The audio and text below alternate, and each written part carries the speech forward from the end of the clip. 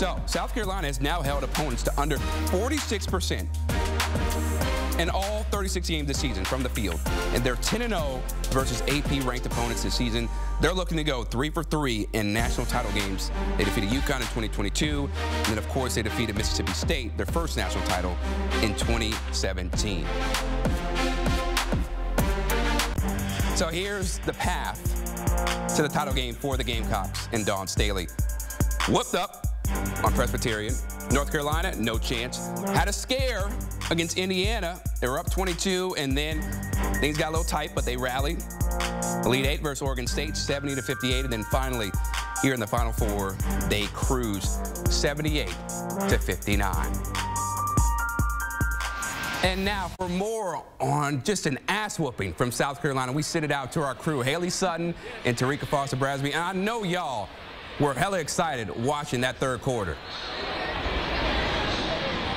Man, thanks so much, Chris, for sending it out to us here in Cleveland, Ohio. You mentioned it. That third quarter was truly the difference in this one. I don't know what Dawn Staley said to her Gamecocks at halftime, but it led to a 29 to 6 outscoring of NC State on the other side. A lot of that, though, stemming from the incredible game that was Kamilla Cardoso.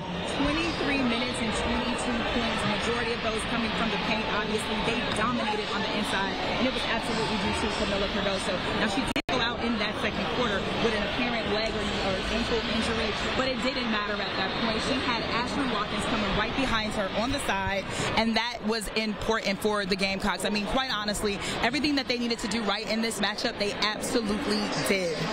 She was unstoppable on that pick and roll. She was able to get the ball in the paint, as you mentioned and nothing could stop her there. Let's talk about the rebounding game, though, for South Carolina, because when we look at the numbers, Terrika, they outscored or they out-rebounded NC State 46 to 34. Ashlyn Watkins 20 on the evening. What was working for them in terms of rebounding and especially those second chance points? Well, one thing that they did is they didn't allow NC State at all to get any opportunity to have second chance points. Although River Baldwin did the very best that she could, she did walk away with 12 points. But one thing that I know that they did outside of only owning the glass is they tried to make sure that no one else was going to get an opportunity to get inside. They held Saniya Rivers to two points through three quarters, which was huge. So basically, they played a complete game, which is what we thought they would do.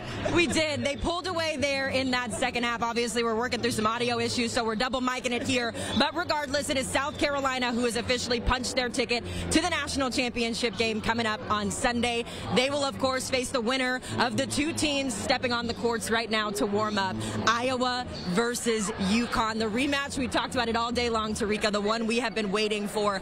Let's talk about Iowa first because their offense so explosive coming into this one. They average about 92 points a game here. How can they continue that offensive prowess going into tonight's game? Well, we already know that the person that's going to continue to lead their offense is Caitlin Clark. Coming off a 41 point performance in the Elite Eight, she literally has to continue to play her game. And one thing UConn has to do is they have to understand if they're not able to contain her, it's okay. Contain everyone else, which was something that they were able to do in the in their Elite Eight, Elite Eight matchup. I'm getting tongue tied here because I'm so excited for this matchup. But I love the way Kate Martin was able to get available. I love the way that she basically was able to ensure that everyone got an opportunity to touch the basketball. They're going to need that tonight. Iowa is the best when they are sharing the rock. Caitlin Clark, of course, leads the nation in points per game, in assists per game. So she will be the hot topic in this one. And for UConn on the other side, Terrika, they're going to have to contain her. It's going to be difficult with a depleted roster. But what's the key to success for the Huskies tonight? One thing that the Huskies have to maintain their do is maintain their composure in allowing high volume threes. The the biggest flaw in their defense is that they allow too many threes, and this is a team that you cannot allow the opportunity to get those shots. They're also going to have to run the ball outside of using Paige Bueckers, who is their star and their leader. They're going to need to use Aaliyah Edwards. She's strong on the defensive end. She's strong in the paint. Make her play Hannah Stuelke, force her into some foul troubles early if she can. But if they can stick together and utilize that game plan,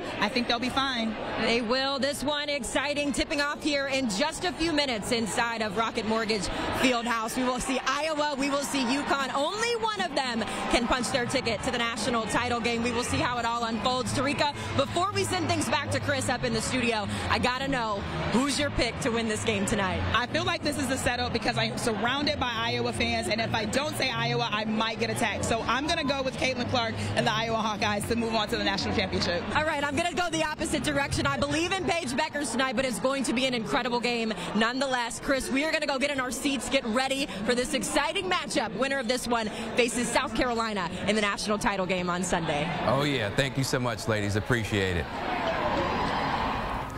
All right, so is this finally the year for Caitlin Clark in Iowa? Terrika said she thinks Iowa's going to get it done. 2021, they went to the Sweet 16. 2022, they got upset by Creighton in the second round. Last year, LSU just went berserk from three. Jasmine Carson was amazing in that title game. And here, 2024, they're in the Final Four again, second straight year. Will it happen, though? We'll find out in a couple of hours, baby.